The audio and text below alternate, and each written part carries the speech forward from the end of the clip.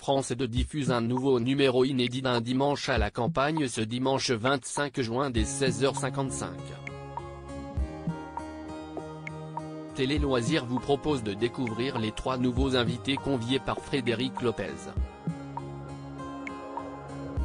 Frédéric Lopez propose un nouveau inédit de son programme dominical d'un dimanche à la campagne ce dimanche 25 juin dès 16h55.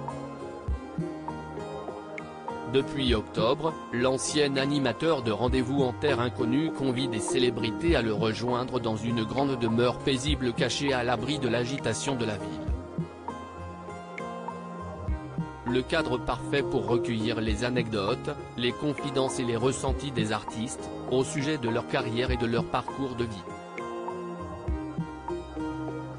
Télé Loisirs vous donne la liste des nouveaux invités. Un dimanche à la campagne, l'auteur la plus lue de France invité par Frédéric Lopez sur France 2 une semaine après avoir reçu Maxime Gasteuil, Laurie Tillman et Gaëtan Roussel, Frédéric Lopez a invité Valérie Carcenti dans son havre de paix. Personnage de la première heure de la série Scène de ménage sur M6, où elle incarne la très naïve Liliane, l'actrice se livrera à cœur ouvert au sujet du complexe social qu'elle a dû surmonter pendant sa jeunesse. À ses côtés, la comédienne trouvera la présence de Melissa da Costa. L'auteur, est la plus lue de France, avec plus de 2 millions d'exemplaires vendus.